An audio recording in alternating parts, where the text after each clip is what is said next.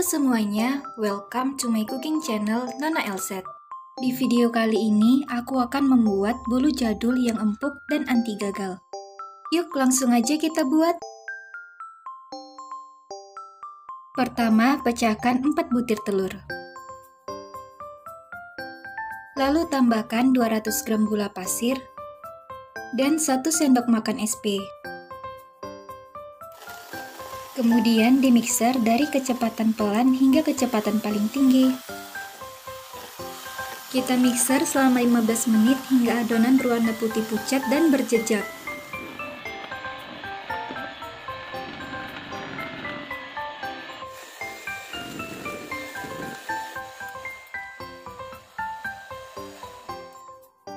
Setelah itu, tambahkan setengah sendok makan vanili bubuk, 30 gram susu bubuk,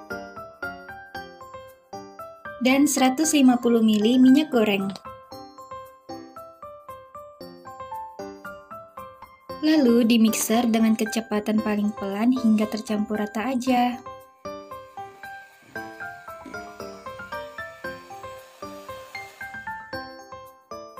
Kalau udah tercampur, ayak 250 gram tepung terigu, aku pakai yang protein tinggi dengan setengah sendok teh baking powder.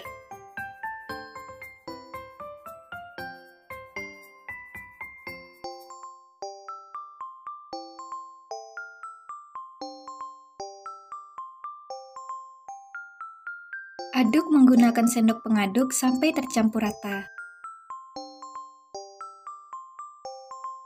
Setelah selesai, di sini aku akan membuat adonan coklat dengan mencampurkan 2 sendok adonan ditambah 1 sendok makan bubuk coklat dan 50 ml minyak goreng. Nah, aku pakai minyak goreng supaya coklatnya mudah tercampur. Kemudian, sebelum menuang adonan, untuk bahan olesannya, aku mencampur 50 ml minyak goreng dengan 2 sendok makan tepung terigu. Ini tips yang gak bakal bikin bolu kalian lengket.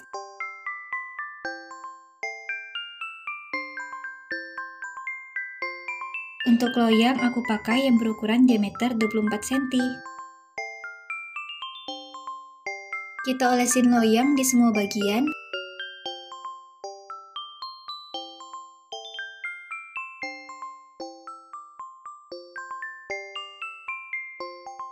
Lalu tuang adonan ke dalam loyang.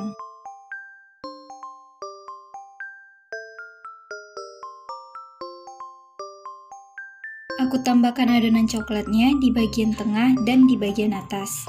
Nah, kalian bisa juga hias sesuai selera ya.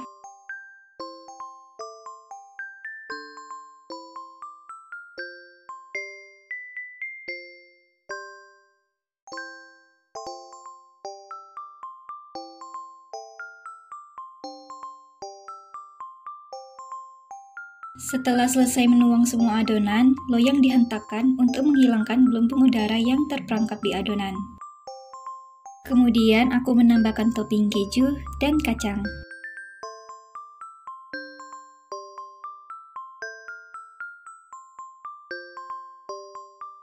Sebelum adonan dipanggang, panaskan oven di suhu 180 derajat selama 10 menit.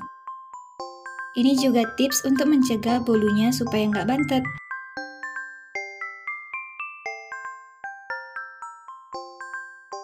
Lalu masukkan loyang dan setting di suhu 170 api atas bawah dan waktu selama 50 menit.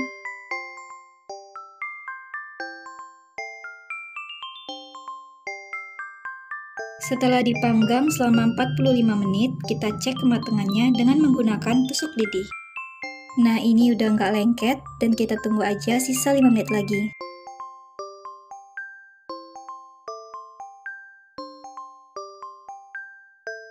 Finally, bolu panggangnya udah jadi dan siap untuk dimakan. Gimana guys, bikinnya gampang kan?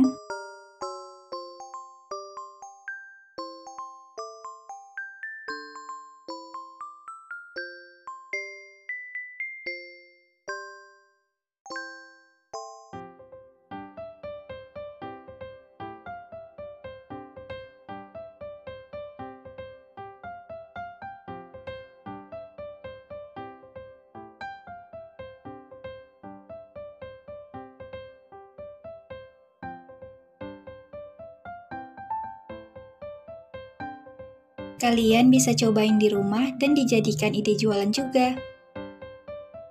Selain modalnya yang kecil, rasanya juga enak dan teksturnya lembut. Kalau kalian tertarik, selamat mencoba ya!